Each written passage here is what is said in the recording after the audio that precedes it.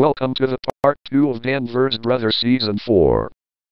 Last time, Happy Wheels is evicted, then S from Hell is evicted, and it is time for the third veto ceremony. ITV uses the power of veto to save Norbert.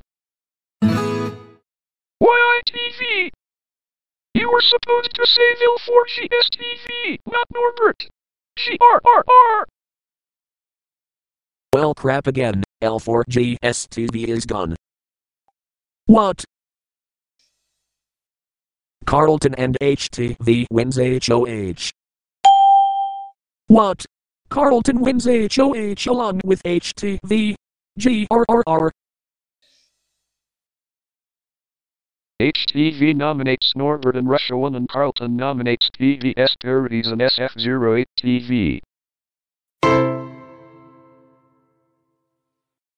Norbert must not win the POV. No. What? Norbert already won POV. GRRR. Hata. He discards.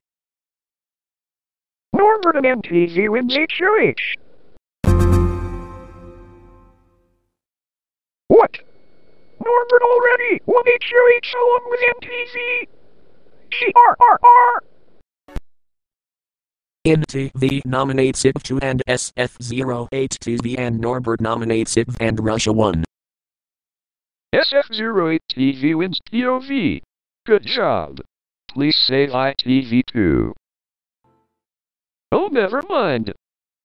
SF08 TV just saved ITV for Vixen. Well crap NTV is gone.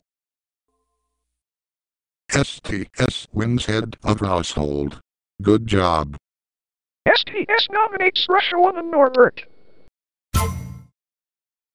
Norbert must not win the POV. Russia 1 wins POV. Oh well.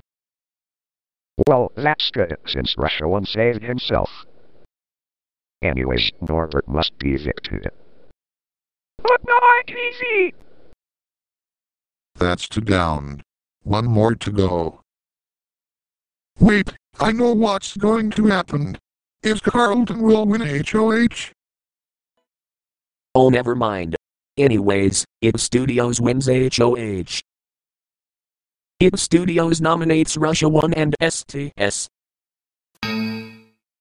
But what about Carlton? Russia 1 wins power of veto. Good job. Well fuck, SF08 TV is gone. STS wins HOH. Again. STS nominates HTV and IV. Anyways, time to end the video.